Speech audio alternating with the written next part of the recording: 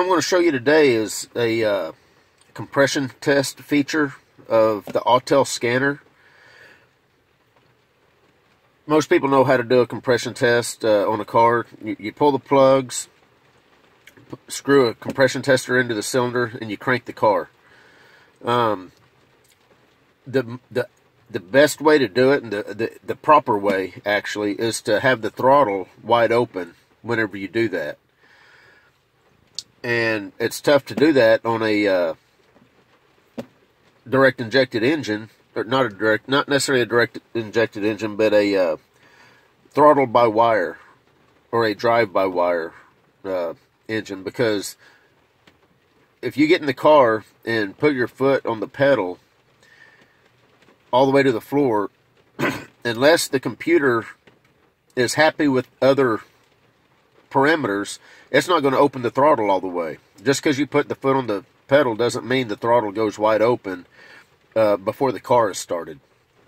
In the old days when you had a cable going out to a carburetor or a, a throttle body, you could put your foot on the pedal and it would open that throttle body or that carburetor up, uh, whether the engine was running or not. But nowadays, it's actually a wire uh, connected throttle body unless the computer sees the proper inputs,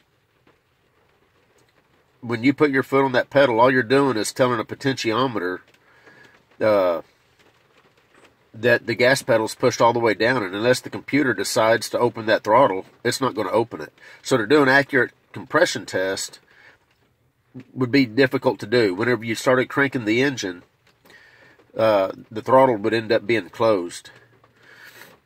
So there's a feature on the Autel scanner that's pretty cool, and I'll show you. I'll show you what this thing does.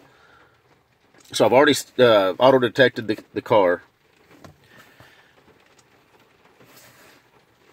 It's the V6 model. The V8 is is the same exact way.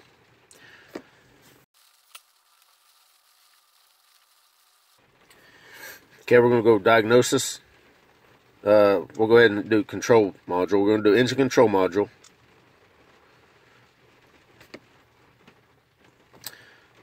Uh, active test, compression test.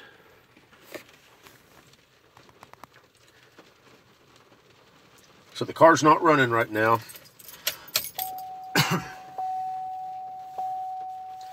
I've went ahead and turned the key on. Okay, so what you're seeing right now, normally to do a compression test, you would put your foot on the gas pedal to open the throttle body or the carburetor all the way up, crank the engine for a few seconds uh, until you got a good reading on your compression gauge. I don't have a compression gauge hooked up, so I'm not going to show you any of that. I'm just going to show you the the the uh, how to do a compression test on this particular car and a lot of the uh, drive-by-wire um, or throttle-by-wire cars should have this same feature on the scanners um, to be able to do an accurate compression test. So right now you can see that the throttle position is at 30%. Um, I'm going to hit the compression test button down here. And you see that it just opened the throttle to 100%. And I don't know if you're going to be able to hear the car crank. Uh, we got a nice rain going this morning. So I don't know if you can even hear the rain. But so right now I'm going to hit crank. The car is cranking. And now it quit. Now if you had a compression gauge hooked up to whichever cylinder, um, you'd you'd have your uh, your pressure that that cylinder produced. And then you'd take it out, put it in the next cylinder, um, go down here, hit compression test, then you hit crank again, and it cranks the engine for, you know, I don't know, it's probably about three or four seconds. And it's going to do that with the throttle position open, which is what you want to get an accurate uh, compression test. Um, and anyway, that's pretty much it. Um,